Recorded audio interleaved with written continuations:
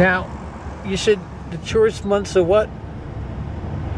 November, December, January, February, March. It's five months. So they haven't come. Yes. Do you get a lot of tourists? A lot of tourists. sir.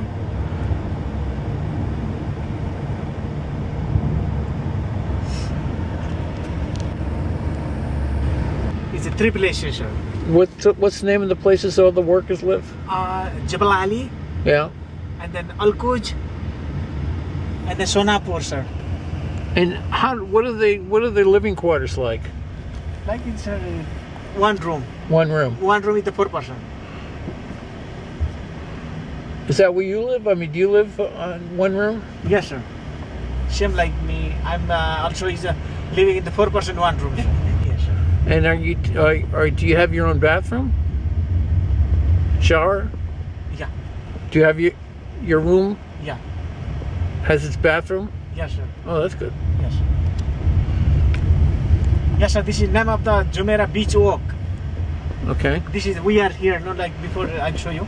This place, the Jumeirah Beach Walk, and the new hotel, and then there was this uh, apartment, like residence apartment, Over here on the left.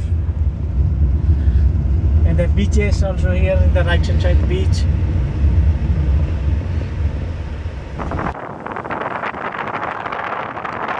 We're heading to Dubai's internet and media cities.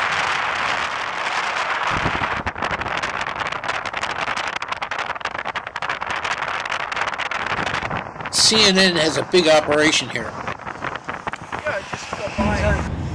Uh, Internet city? Yeah, this is internet city here now. Maybe two minutes out from here.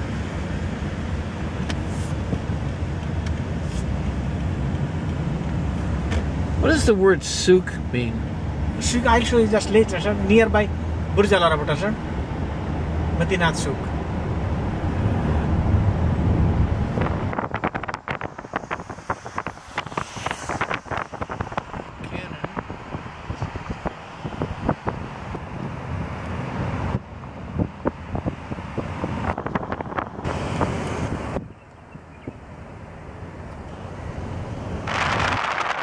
You see a lot of for lease signs. Uh, I kind of wonder how many of these buildings are actually fully rented.